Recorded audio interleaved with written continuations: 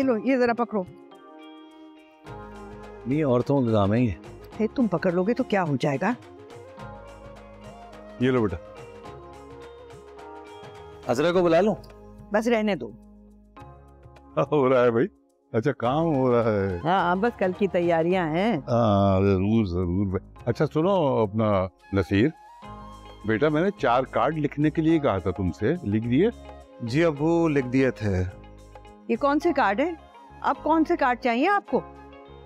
भाई वो मस्जिद में कुछ अफराद रह गए हैं वैसे तो मैंने जुबानी उनसे कह दिया था लेकिन मैं सोच रहा हूँ कि अब ईशा के लिए जाऊँगा तो कार्ड भी दे दूँगा। और जमाल? जी। बेटा जितने लोग मैंने बुलाए हैं ना मुझे लगता है कि उससे ज़्यादा लोग आ जाएँगे तो खाना कम नहीं पड़ना चाहिए। अब आपने पूरी मार्केट के लोगों को बुला लिया। अब एक के साथ दो दो लग कराएँगे। अरे बेटा बेटे का वलीमा तो ऐसे ही किया जाता है। मैं देखता हूँ। सुनो वो वासिफ के ससुराल वालों ने अगर कुछ चीज़ें भेजी हो ना तो वासिफ के कमरे में पहुँचा देना। ये कैसा सामान है? उन्होंने कहा था कि कुछ सामान भिजवाएँगे। कोई जूसर वगैरह इस तरह की चीज़ें।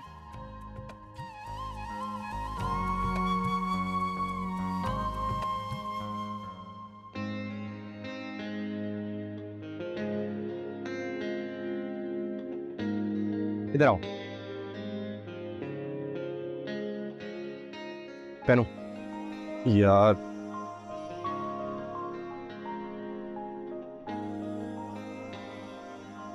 हो गया ना चेक यार बटन तो लगाने दो क्या हो गया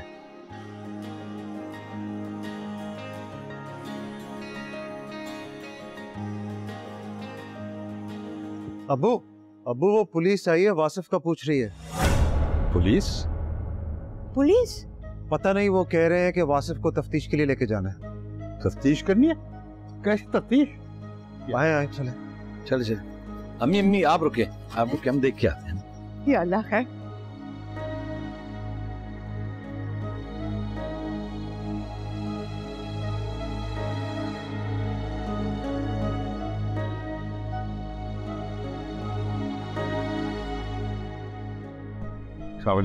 वालेकुम। जी फरमाइए क्या मसला है? वासिफ को बुलाएँ उनको साथ लेकर जाना है।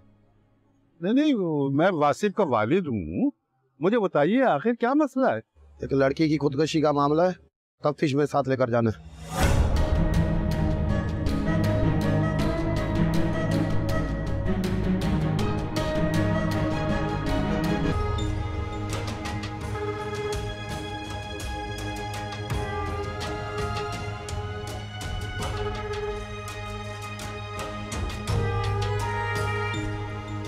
वासिफ जी फरमाइए। वहाँ लड़की ने आपके पीछे खुदकशी कर ली। आप यहाँ दूल्हा बने घूम रहे। वासिफ? ये क्या कह रहे हैं वासिफ?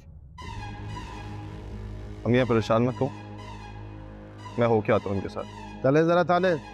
एस एच साहब ने बुलाया। नहीं नहीं, आखिर पता तो चले कि मामला क्या है। आप लोग को आने थाने आ जाए सब पता चल जाएगा। कौन से थाने भाई? दरक्षा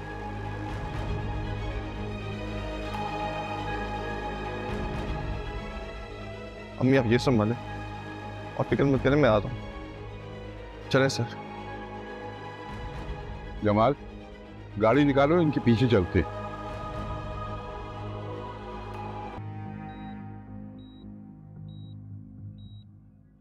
कोई भी फ़ोन नहीं उठा रहा तीनों में से।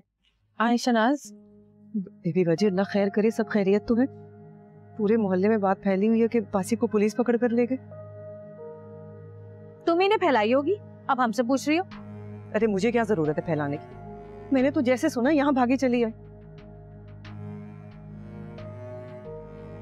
कोई मुझे बताएगा कि हुआ क्या? वो लोग सब थाने से आएँगे तो पता चलेगा कि क्या हुआ अरे बता क्यों नहीं रही हो उसको? पुलिस वाले साफ़ साफ़ कह के तो गए हैं। भाई वासिफ की शादी की खबर सुन के किसी लड़की ने खुदकुशी कर ली है।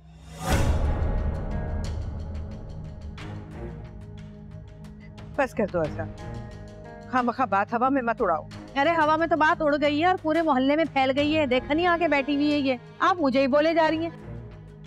उमर को देखी मेरी शादी के कपड़े खराब कर रहे हैं। अब फिर मैं कहीं क्या पहनूँगी? अरे कोई शादी वादी नहीं हो रही। तो तुम्हारे चाचू की बारात जो है ना पुलिस वाले ले गए आज थाने। चलो जाओ यहाँ से। कभी तो अपने मुँह को आराम दिया करो अजरा जो जी चाहता है ऑल फॉल्ट बकती रहती हो हर वक्त। अम्मी गुस्सा नहीं करें आप। जाओ, दादी के लिए पानी लेकर आओ। भाई, तुम तो मेरे लिए चाय बना दो एक कप। सर में बहुत दर्द हो रहा है मेरे। पता नहीं जमाल को क्या पड़ी थी। उठ के चले गए। जा तो रहे थे अब्बा और नसीर। अम्मी, आप आराम से टेक लगा कर बैठे। आप परेशान मत हो। अल्लाह सब अच्छा करेगा।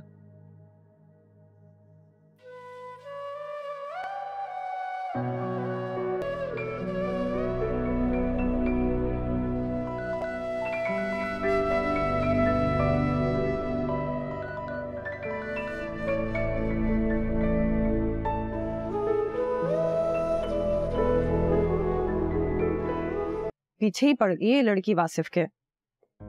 भाभी, आप जानती हो उस लड़की को? जब मैं अस्पताल में थी ना, वहाँ पर आई थी मुझसे मिलने।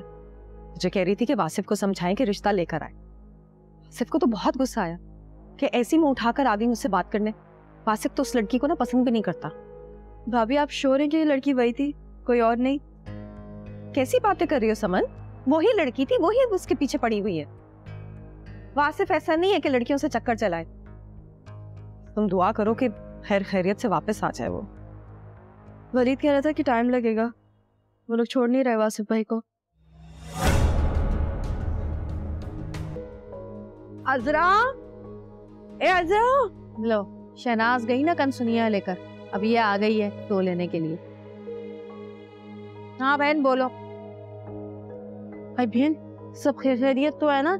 ये तुम्हारी यहाँ पुलिस क्यों आई थी? हाँ पुलिस आई थी। तुम्हारा पूछ रही थी। पहुँची नहीं अभी तक तुम्हारे घर?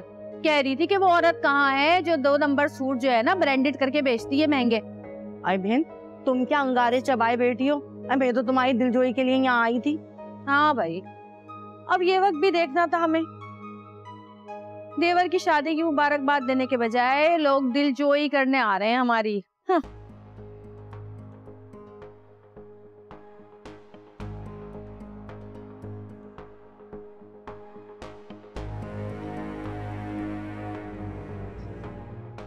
ऐसी अक्कड़ खत्म हुई है ना इस बुढ़िया की।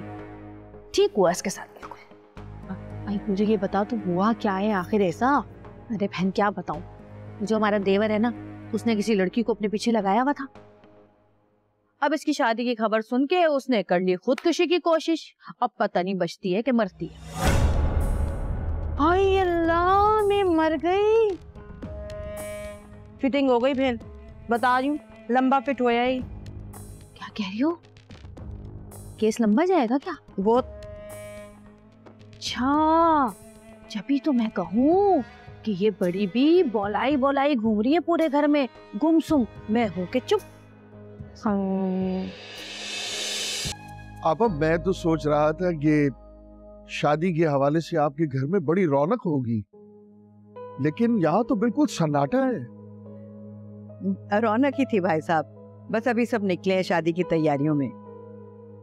आपने नाहक तकलीफ़ की, किसी के हाथ भिजवा देते, और वैसे भी छोटी मोटी चीज़ें तो शादी के बाद भी आ सकती हैं। जी हाँ आप बजा फरमा रही हैं, लेकिन आप तो जानती हैं कि मेरी बहन कनाडा में बहुत बीमार है तो शादी के फ़ौरन बाद हमारा इरादा है कि हम कनाडा के लिए रवाना हो जाएँगे।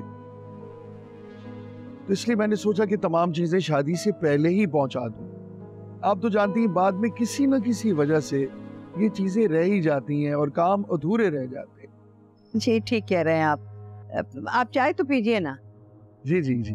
बहुत शुक्रिया।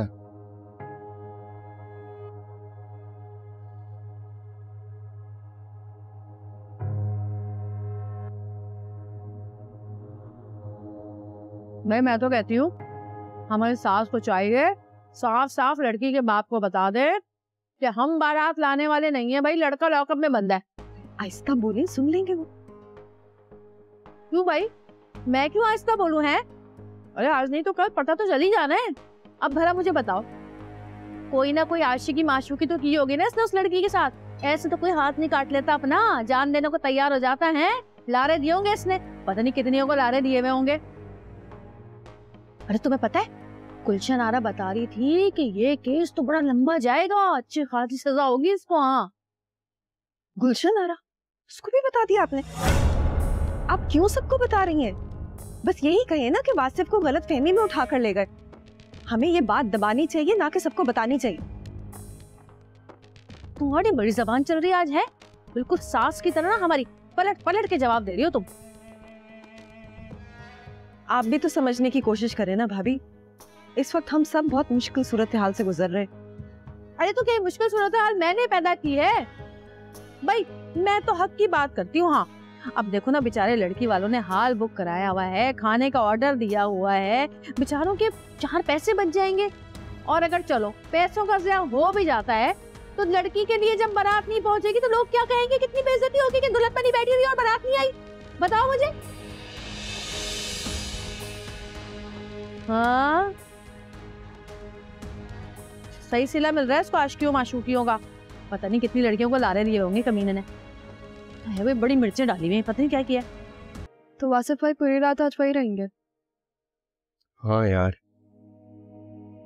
वासिफ भाई बहुत परेशान लग रहे थे। शेरवानी भी मैंने उनको ज़बरदस्ती पहनाई है कि फिटिंग चेक कर ले। मुझे लगा शायद एग्ज़ाम की टेंशन है। अंदाज़ा नहीं था कि इतनी बड़ी बात होगी। अजीब बात है। लड़की पे केस करने की बजाय वासिफ भाई को लेकर ज़बरदस्ती का केस बना रहे हैं बस। बहुत सोर्स वाले लोग हैं वो। ऐसा जो कह रहा था कि आपके बेटे ने लड़की को धोखा दिया है। तो वासिफ भाई की क्लास पर उसको बुला के पूछ लेते ना उनसे? वो हॉस्पिटल में है समन। किससे पूछे जाके? सारी हमदर्दियाँ उसी के साथ है।